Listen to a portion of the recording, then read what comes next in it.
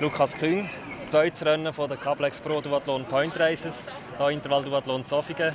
Bist du gut vorbereitet für heute? Ja, ich erholt. Ich habe jetzt Tage mal ein bisschen nichts gemacht. Jetzt bin ich erholt und heiß drauf. Ja. Ja. Jetzt hast du letztes Mal äh, glaub, die dritte Duathlon gemacht, hast du gesagt. Hast du jetzt bereits wieder etwas können umsetzen oder gedacht, äh, verbessert, was du gesehen hast, was noch nicht so optimal gelaufen ist gegenüber heute? Gross zum Verbessern bin ich nicht gekommen. Ich habe noch den GP gesäckelt. Dann bin ich gross zum Umändern bin ich nicht gekommen. Jetzt nehme ich es kommen. Heute hast du viermal, wo du wechseln musst. Hast du da irgendwie speziell etwas vorgenommen, dass es möglichst schnell vonstatten geht heute? Ja, auch nicht gross. Einfach wieder schauen, wie es kommt. Ich glaube, ich werde von Rennen zu Rennen schneller, nicht im Training. Ähm, die Strecke hier führt hier die Laufstrecke durch die Altstadt durch. Hast du sie können anschauen oder bist du noch auf der Velostrecke? Gewesen? Äh, kannst du etwas sagen dazu? Bis jetzt habe ich die Velostrecke angeschaut, die fährt, die geht auf runter.